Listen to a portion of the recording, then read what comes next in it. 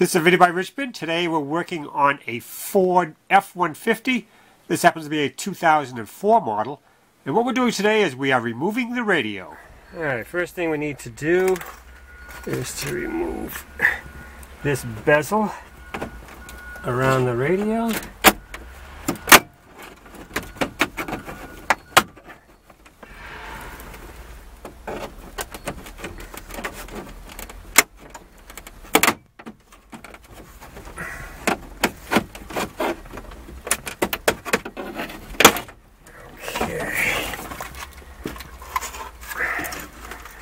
We got one electrical connector right here. We don't have to take it off if you don't want to.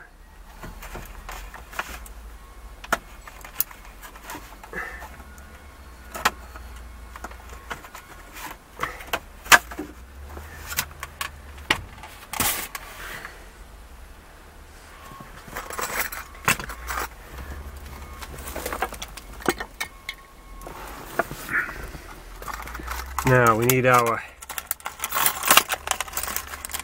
special radio removing tools.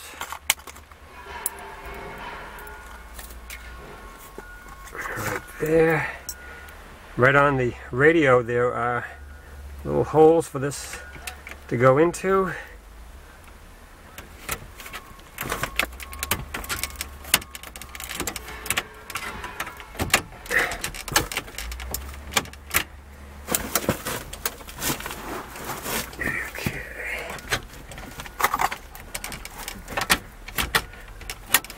There we go.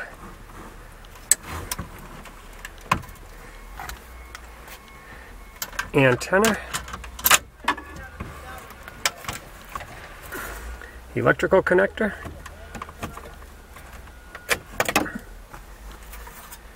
There it is.